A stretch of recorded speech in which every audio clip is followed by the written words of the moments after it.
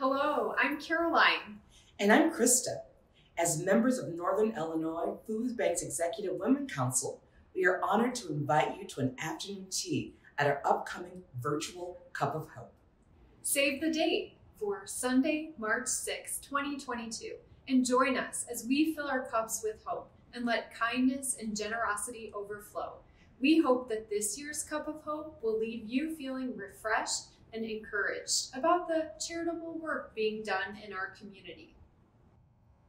This spring's Cup of Hope program will feature James Beard winner Gale Gand, nationally acclaimed pastry chef, and Jenny Say, certified tea specialist and owner of Sipping Streams Tea Company in Fairbanks, Alaska.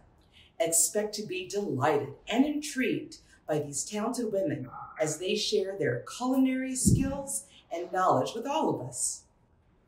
While we are grateful that the recent peak in food insecurity is behind us, the food bank's work is far from done.